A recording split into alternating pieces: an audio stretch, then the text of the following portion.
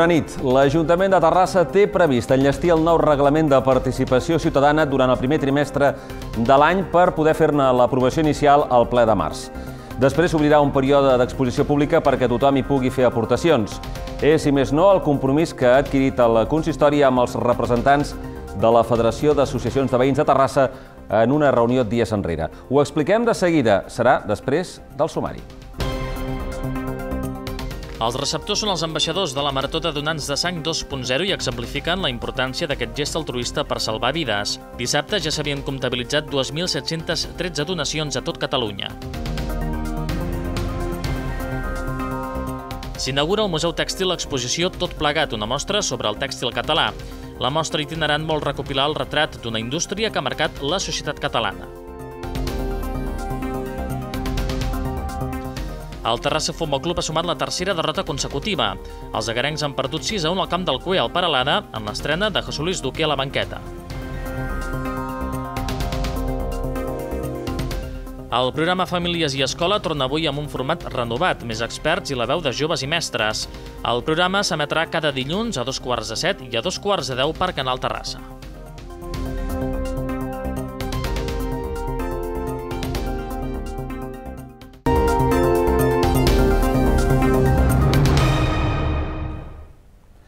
L'Ajuntament vol portar al ple de març el nou reglament de participació ciutadana. En una reunió mantinguda amb la Federació de Veïns s'ha compromès a complir un calendari que preveu una presentació pública del document i oberta a la ciutadania a mitjans del mes de març. L'Ajuntament té previst enllestir el nou reglament de participació ciutadana durant el primer trimestre de l'any per poder fer-ne l'aprovació inicial al ple de març. Després s'obrirà un període d'exposició pública perquè tothom hi pugui fer aportacions. Aquest és el compromís que ha adquirit la regidora de Qualitat Democràtica amb els representants de la Federació d'Associacions de Veïns de Terrassa en una reunió mantinguda la passada setmana. Meritxell Lluís explica que s'ha estat treballant amb el document de propostes que la Federació va presentar al consistori el juny del 2014 i que bona part quedaran recollides. Això suposaria donar més capacitat de decisió als Consells de Districte i ampliar les vies d'intervenció als plens. La següent fase és recollir les aportacions de tots els grups polítics municipals. Segons Lluís, l'objectiu és fer un acte obert a la ciutadania abans del ple per explicar les línies del nou document. Que no podem fer és que un reglament ens sigui una cotilla.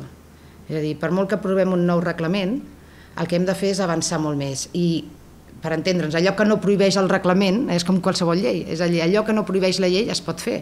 Per tant, hem de ser capaços d'anar avançant en aquest sentit. També una de les coses que preveu el, el document que estem treballant és crear una comissió de seguiment d'aplicació del reglament. Per la seva banda, la Federació, que ha reclamat en nombroses ocasions l'actualització del reglament i davant l'endarreriment d'aquest procés, ha recomanat a les associacions de veïns no assistir als Consells de Districte ni a les taules i Consells Municipals. Ara, davant d'aquestes noves informacions, la Federació retira la consigna, però es mostra prudent pel que ha de venir perquè encara no coneix el nou text. Nosaltres, eh, des de la FAP, des del món veïnal, sempre hem participat, tant al Consell de Districte com a, com a la majoria de taules i Consells Municipals està for, fora de, de tota dubte el nostre caire participatiu de col·laboració amb l'Ajuntament. Aviam, eh, això que proposaven era una mida, una mida extrema, perquè certament és que no pot continuar realment demorant-se d'aquesta manera l'aprovació d'una cosa com un procés participatiu en un reglament de fa dos anys que va començar. Clariana espera que el nou reglament doni resposta a les expectatives del món veïnal i ciutadà incloent tres premisses que considera bàsiques. Millorar la intervenció als plens, una composició més democràtica dels òrgans de participació i les seves funcions i més capacitat de decisió als Consells de Districte. El president de la Federació confia que el nou reglament pugui aplicar-se abans de l'estiu. Canviant de tema, fins divendres hi ha temps per donar sang i així incrementar les reserves del Banc de Sang a tot Catalunya. La Marató 2.0 és en marxa amb la intenció de poder sumar més reserves després de les festes de Nadal, al moment en què els estocs són més baixos. Soc aquí gràcies a tu. M'agradaria conèixer-te, com que no puc, com a mínim et faig arribar un missatge. Ets amor, Maria. Aquest és l'escrit que ha trobat un donant de sang en una galeta de la sort de part d'un receptor. La tercera edició de la Marató de Donants de Sang 2.0 està en marxa des de divendres.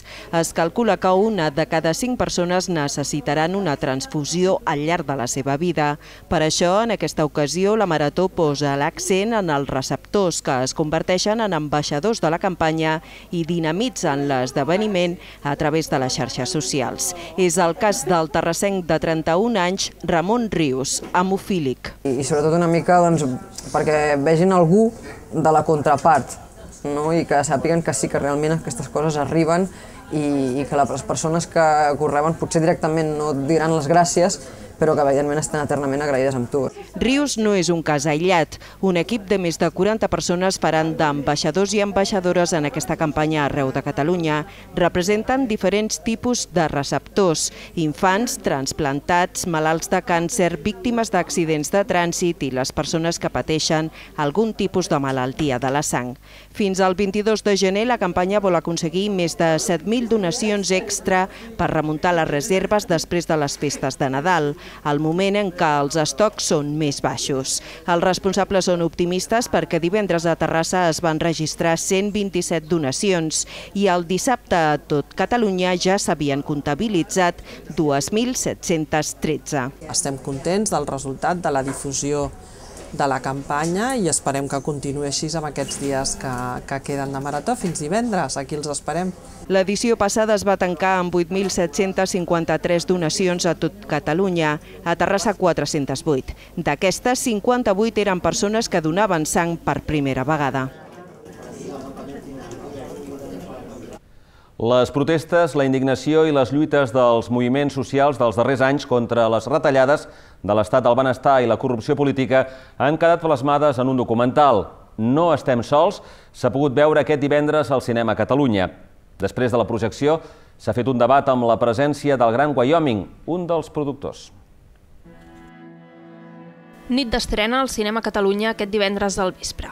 Representants municipals han donat la benvinguda a l'estrena a la ciutat de la pel·lícula No estem sols, un projecte dirigit per Pere Joan Ventura basat en un guió del multifacètic presentador de televisió Gran Wyoming sobre els moviments socials dels darrers anys. Aquest documental és un recorregut, diguem-ne, una mica per la geografia de la indignació. Tots aquests anys, les retallades, la corrupció, i tot això ha fet de que la gent sortís al carrer i a més sortir al carrer d'una manera quasi festiva i amb molta imaginació. I aleshores el que hem volgut és, és retratar tot aquest ambient, no? I ha sigut un rodatge pràcticament d'un any. Juntament amb Pere Portavell, el Gran Wyoming, també conegut com José Miguel Monzón, i que ha participat en el debat posterior a la projecció, han estat els productors del film. El documental retrata els moviments socials que en els últims anys han anat creixent a moltes ciutats espanyoles per vehicular les protestes contra les retallades, les privatitzacions, els desnonaments o la corrupció. El treball vol donar continuïtat a l'estela del 15M i retrata la força i la imaginació dels moviments socials per denunciar la degradació de la democràcia mostrant imatges a peu de carrer a diverses ciutats del país. Una mostra de la sensibilitat de Terrassa per acollir un cinema social de qualitat. Sobre todo es una muestra de que hemos potenciado lo no comercial y, y, lo social ¿no? en esta ciudad. O sea que yo estoy muy orgulloso de que este documental se estrene aquí, porque los que venimos del mundo social y somos fans de gente como Wyoming, eh, pues estamos encantados de que, de que se presente en nuestro cine Catalunya. El film es va estrenar a la secció oficial del Festival de Cinema de Sant Sebastià i ja ha passat per ciutats com Barcelona, Madrid, Sevilla i València. La pel·lícula també s'ha vist a festivals de documentals d'Amsterdam i l'Havana i en diferents universitats. Després anirà a Chicago i al Festival de Drets Humans d'Austràlia. A Terrassa, amb gairebé l'aforament de la sala ple, s'ha fet taquilla inversa de manera que en sortir els espectadors han pagat allò que han considerat oportú. Això va ser divendres i també divendres Terrassa va acollir un debat intens sobre el model policial. Durant l'acte, la regidora de la CUP, Maria Sirvent, denunciada per 15 policies municipals, rebia el suport de diferents regidors de l'Ajuntament terrassenc, però també d'altres consistoris, com ara el de Sabadell i Badalona. La CUP, juntament amb Alerta Solidària i Solidaritat Antirepressiva, reuneixen més de 200 persones als Amics de les Arts en un acte de suport a la regidora Maria Sirvent, denunciada per 15 policies per unes declaracions presumptament ofensives pel cos policial fetes en el ple. La regidora de la CUP també ha comptat amb el suport d'alguns regidors de diferents formacions locals que han assistit a l'acte. En el debat hi han participat el regidor de Crida per Sabadell, Albert Boada, i l'alcaldessa de Badalona, Dolors Sabater, que han reflexionat sobre un nou model policial menys repressiu i de més protecció al ciutadà. El regidor Albert Boada ha dit que sovint la policia confon delinqüència amb desigualtat o pobresa i que el model de la majoria de ciutats és un model reactiu més que no pas preventiu. Per la seva part, l'alcaldessa de Guanyem, que va dissoldre el grup Omega, un cos més pròxim als antivalots que no pas a la policia local, ha reflexionat que des de la recuperació de la democràcia s'han perdut moltes oportunitats per reestructurar un cos policial que ve del franquisme i que sovint està instrumentalitzat per la política. Boada i Sabater han coincidit que el cas de la denúncia a la regidora Maria Sirvent és un intent més de judicialitzar la política i atacar la diferència, als moviments socials, l'opinió i, en definitiva, la llibertat d'expressió. Atenció conductors, perquè unes obres d'asfaltat han obligat a tallar parcialment el trànsit al carrer Prat de la Riba des d'avui i fins dijous. Hi ha dos trams afectats. D'una banda, entre Dr. Pearson i el passeig 22 de juliol. De l'altra, entre Pius 11 i Salvador Busquets. Els treballs obliguen a desviar el recorregut dels autobusos de la línia 6.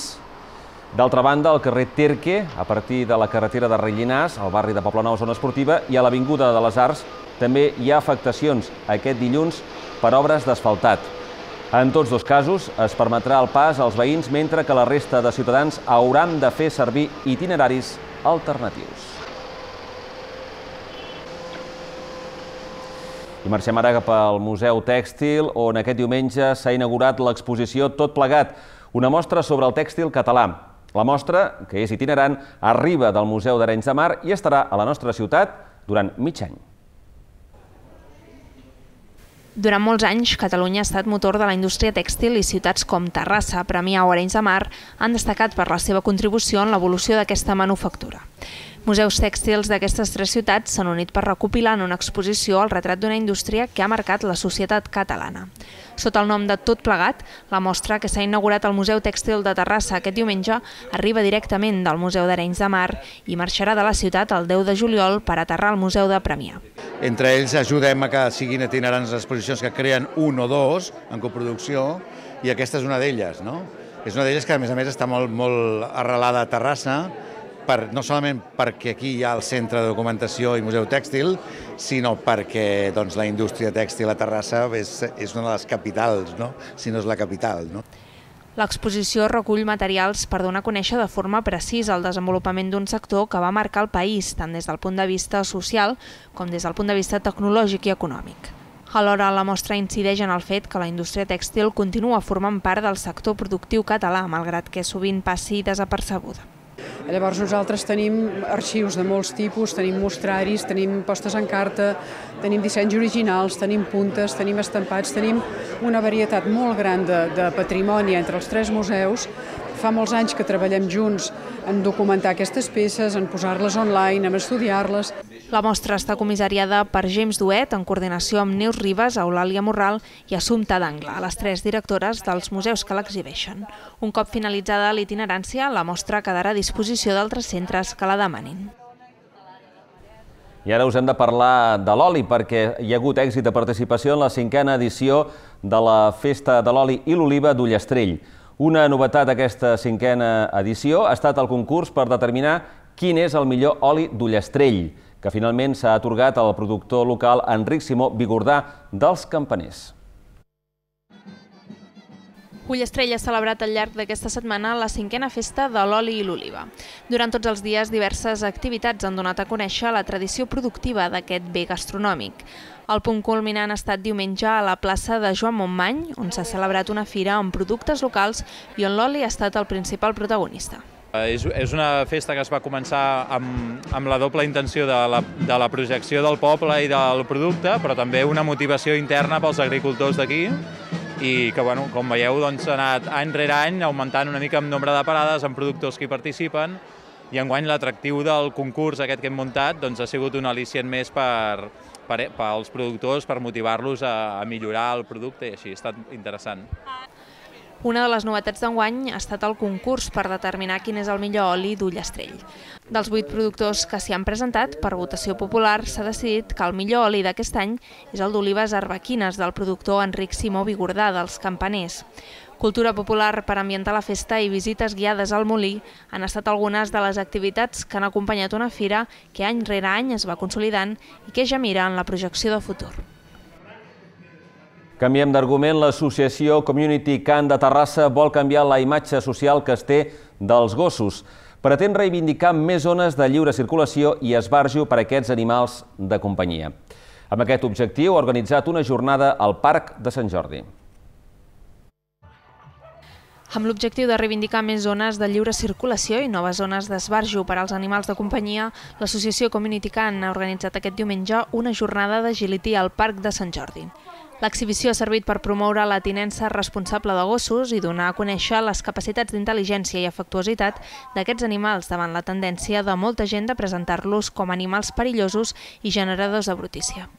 Fem aquest tipus d'actes perquè la gent vegi això, que els gossos són uns animals amb moltes virtuts, amb moltes capacitats i que l'únic que necessiten és que tinguin un entorn adequat i una educació que els permeti socialitzar-se adequadament. Aquesta setmana l'associació es reunirà amb l'alcalde de Terrassa per explicar-li la problemàtica amb la que es veuen cada vegada que han de treure els gossos a passejar. I és que des del col·lectiu veuen mancances en les zones de lliure circulació. Eh, aquí a Terrassa el problema que tenim és que tenim un pipican al Vall Paradís i diverses zones de, de, de lliure circulació per a gossos. Però no estem conformes només amb això. El que volem és les zones de lliure circulació que siguin zones d'esbarjo, ben delimitades i, i que no només sigui de, de passeig, que puguin anar a sociabilitzar-se, puguin fer exercici. En total, un centenar de gossos amb els seus propietaris s'han acostat a l'esplanada de la Masia Freixa per participar en diverses demostracions d'obediència i ensinistrament, així com una exhibició de ball per als més peluts de la casa.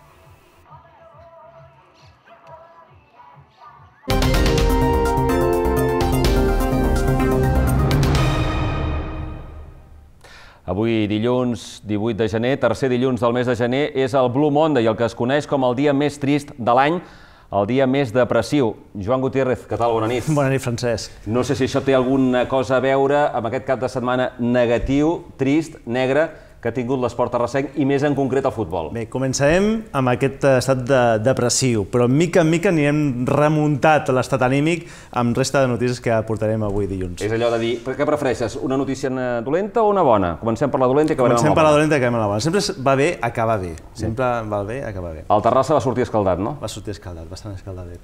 Bé, la situació esportiva del primer equip eh, del Terrassa, en lloc de millor- millorar, empitjora. I és que va ser humiliant la imatge que va donar el Terrassa al camp del Cué, al Paralada, d'on ahir va sortir golejat per 6 a 1. José Luis Duque, que s'estrenava a la banqueta arenca, té molta feina per endavant. S'espera una setmana moguda on no es descarta la sortida d'algun jugador. El Terrassa Futbol Club ha sumat la tercera derrota consecutiva, tot i que aquesta última passarà a la història. Els agrencs han perdut 6 a 1 al camp del Cué, al Paralada, en l'estrena de José Luis Duque a la banqueta.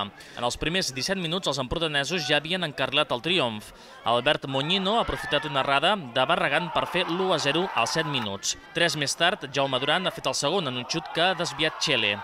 I el 3 a 0 l'ha fet Quique Sánchez, aprofitant que el porter del Terrassa estava avançat. Aaron Bueno ha retallat distàncies abans del descans en una primera part per oblidar. Les coses no han millorat a la represa i Xavi Ferron, en el minut 57 i 69, ha fet pujar un 5 a 1 que ja ha estat irremuntable. Duque ha demanat perdó i ha llançat aquest missatge als seus jugadors. Horrible, no hemos estado a la altura. Desde el principio el Peralada ha estado mucho más intenso. Se han visto demasiadas carencias defensivamente y tenemos que trabajar. O sea, no puede ser que un equipo como eh, en una categoría que hay tanta igualdad acabe 6 a 1. No puede ser, es imposible. No nos pueden marcar 6 goles ni aquí ni en ningún sitio. Eh, encajar 6 goles está claro que algo falta, algo, algo falla, está clarísimo. Eh, evidentemente el partido sirve para sacar muchas conclusiones y seguramente alguna decisión habrá que tomar, evidentemente, sí, sí, no se puede, el escudo del Tarrasa hay que, hay que defenderlo mucho más, Eh, este 6 a 1 hace daño a toda la ciudad, no solo al club. Ars ja ha fet el definitiu 6 a 1. El Terrassa ja es troba a 7 punts del play-off i a 8 del descens. Diumenge rep el Manlleu en una setmana que s'espera de nou molt moguda al club agarenc. Coses més positives. Continua l'hegemonia terrassenca a l'hoquei sala. Aquest any, però, l'Atlètic no ha sumat el seu vuitè títol consecutiu al Campionat de Catalunya masculí. Ha anat a parar el club de tennis Les Fonts, que a la final va derrotar la Gara a la tanda de shotouts. Els de Cansales van acabar tercers. El club tenis Les Fonts ha trencat l'hegemonia de l'Atlètic al Campionat de Catalunya d'hoquei sala. En la final disputada aquest diumenge a l'Hospitalet de Llobregat, el conjunt dirigit per Roger Pablo ha derrotat el Club Agara als shootouts després d'arribar-se amb empat a 3 al final del partit. El Les Fonts, integrat per jugadors de diferents equips de Terrassa, participava en aquesta edició per homenatjar aquell equip que va guanyar el Campionat d'Espanya d'aquesta modalitat fa 40 anys. De fet, molts són fills de jugadors d'aquell històric equip. Javi García, als 6 minuts, ha avançat el conjunt verd i blanc i 4 minuts més tard, Jaume Freixa anotava el 2 a 0. Lluís Mercader, però, ha retallat distàncies abans del descans. El Les Fonts ha tornat a agafar dos gols d'avantatge quan Frank Dinarès, en el refús d'un penal córner, ha fet el 3 a 1. Els de Patricio Quinan, però, no s'han ensorrat i han empatat el partit. Mercader en transformar un estroc i Xavi Aguilar de penal han col·locat el 3 a 3. Als shootouts, el Les Fonts s'ha imposat per 2 a 1. En el darrer llançament, Josep Ferrer s'ha fallat després de repetir la seva acció a instàncies de la parella arbitral. Hem estructurat diguéssim, tot el campionat basant-nos sobretot en la defensa. Pensem que si defenses bé, les ocasions sempre a dalt acaben arribant, no posar-nos nerviosos, eh, portar una mica el tempo del partit, que, que, que no s'accelerés molt el partit. Merecíamos ganar o empatar, ¿sí? y, y bueno, siempre que llegamos a los shootouts hemos perdido. Entonces, creo que, que, tenemos que mejorar esa parte. No es tanto, creo, la parte técnica, sino la parte de fuerza mental para, para este momento. Jorge de Falguera ha estat escollit millor jugador de la final. L'Atlètic, guanyador d'aquest títol els set últims anys, s'ha emportat la medalla de bronze en derrotar l'Atlètic 1952 per 3 a 2. I en categoria femenina, un júnior molt més efectiu que la Gara s'ha proclamat nou campió català. Les santcugatenques es van imposar per 5 a 1. El Club Deportiu Terrassa ha acabat tercer després de superar l'Atlètic per 2 a 0. El júnior ha agafat el relleu de l'Atlètic i s'ha proclamat campió de Catalunya femení d'hoquei sala després de guanyar la final al Club Agara per un contundent 1 a 5. Les santcugatenques, doncs, tornaven a fer-se amb el títol aconseguit ara fa dos anys. El marcador final ha estat massa avoltat, però el júnior ha tret profit de la seva major eficàcia a porteria davant d'una gara que ha fallat els set penals corners. Anna Gil, aprofitant una errada defensiva de les del Pla del Bonaire, ha fet el 0 a 1 als 11 minuts.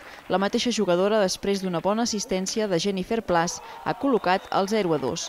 Mariona Serraïma, abans del descans, ha sentenciat la final amb el tercer gol del seu equip.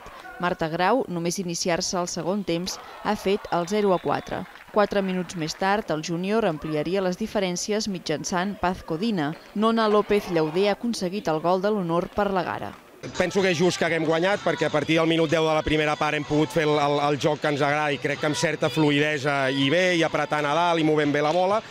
La nostra portera ha parat. Eh, bueno, crec que en, en definitiva és just. Sí, de fet, ahir a les semis vam tindre molta efectivitat, vam treure 4 o 5 i en vam marcar 3. Avui no ha estat, eh, no ha estat de, la nostra, de la nostra cara, de la nostra banda, vull, volia dir, i sabíem el que havien de fer, però bueno, no sé, suposo que les noies també són una mica joves, sin experiència en finals i s'han posat una mica nervioses, però bueno, d'alguna manera tampoc fa falta justificar-se, sinó felicitar el júnior pel, pel, pel, pel, bona, bon torneig i final. Paz Codina del júnior ha estat escollida millor jugadora de la final. El Club Deportiu Terrassa ha acabat tercer després de superar l'Atlètic per 2 a 0 en el partit que decidia la medalla de bronze.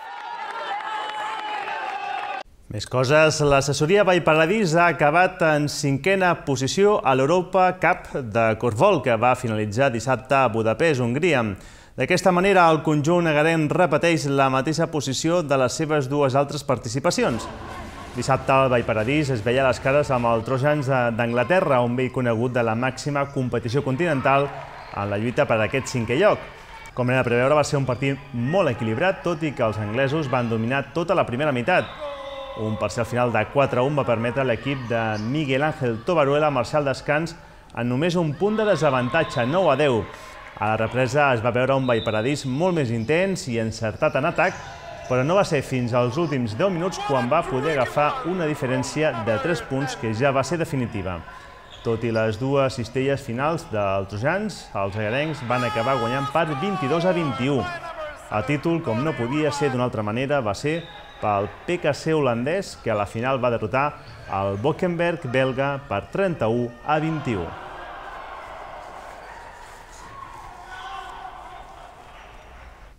La mitja marató de Terrassa escalfa motors de cara a la seva celebració el proper diumenge. La gran cita esportiva de la ciutat es va presentar aquest passat divendres en un acte durant el qual també es va poder escoltar l'himne oficial de la cursa. A una setmana del tret de sortida, la mitja marató de Terrassa ha escalfat motors amb la presentació oficial que ha tingut lloc a la seu del BBVA. Ha estat un acte conduït per la periodista de Canal Terrassa, Marina Tomàs, i en el que hi ha hagut diversos reconeixements.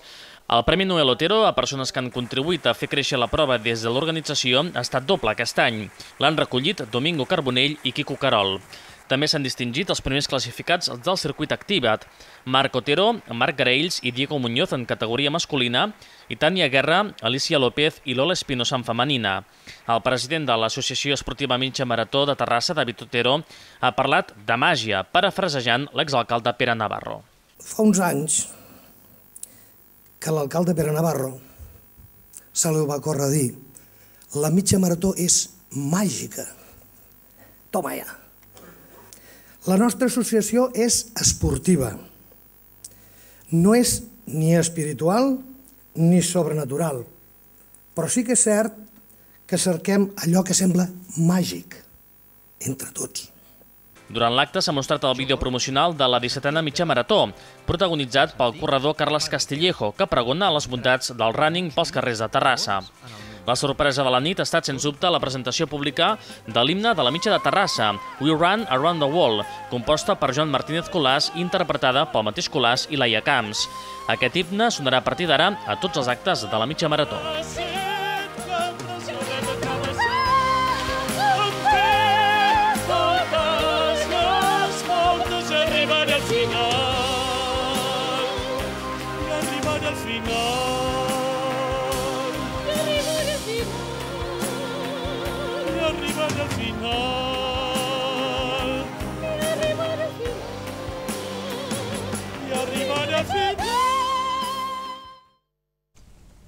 Doncs eh, aquest apunt musical de la mitja marató eh, francès, recordem que la cita és a aquest proper diumenge. Acabo amb dos apunts d'aigua. Un, que l'equip masculí de waterpolo del club en de Terrassa va quedar eliminats als quarts de final de la Copa Catalunya, que es va disputar -huh. la fase final a Manresa, però la bona notícia és que Saler Gascon ha aconseguit dues mínimes paralímpiques en l'Open Internacional de Tenerife de natació adaptada que va tenir lloc aquest passat cap de setmana. Hem començat amb una nota negativa, la derrota del Terrassa, acabem, acabem. amb positiu. Per cert, eh, parlant de la mitja marató d'aquest sí. diumenge, la previsió meteorològica diu que tindrem bon temps i Bé. temperatura mm, més alta de l'habitual mm, per l'època. Doncs als corredors això no els agrada, no. eh? tenir una temperatura tan alta. Home, tampoc. Però s'agraeix, no, eh? No serà una temperatura de primavera, però eh, recordem altres mitges maratons doncs, que ha fet molt de fred i tampoc és bo. Hi ha eh? alguns que ho farem aquests 21 quilòmetres, però no corrent, precisament. Molt bé, en parlarem al llarg de tota la setmana. Joan, gràcies, Vinga, bona nit. Vinga, adéu.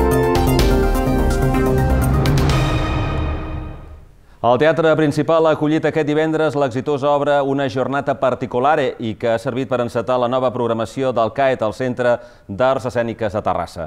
Una jornada particular va pujar als escenaris l'any 1984 amb Anna Lizaran i Josep Maria Flotats, interpretant l'Antonieta i en Gabriel. Ara, 31 anys més tard, Oriol Brogi i la Perla 29 han presentat la seva adaptació que es planteja com un duel interpretatiu i que compta amb dos grans actors per encarnar aquesta famosa parella cinematogràfica, Clara Segura i Pablo Derqui. L'actriu Rosa Gámiz completava el repartiment amb el paper de la portera a qui no se li escapava cap detall d'aquesta trobada inesperada. Una jornada particular és la versió teatral de la pel·lícula d'Ettore Escola, protagonitzada el 1977 per Sofia Loren i Marcelo Mastroianni. El film va rebre el Globus d'Or al 1978 i el Premi César al 1977.